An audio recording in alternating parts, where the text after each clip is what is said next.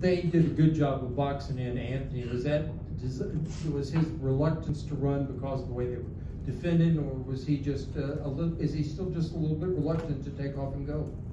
No, I, I think he made a few plays, a few first downs with his feet in the game, you know.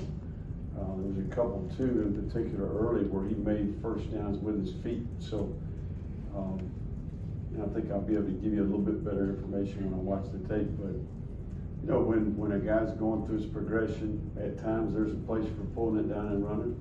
Sometimes they give you that opportunity, and sometimes they keep you in the pocket. They did a little bit of both at times. They gave him opportunities, uh, and he, he made some plays with his feet, um, and then there were times that he, that he couldn't. Coach, you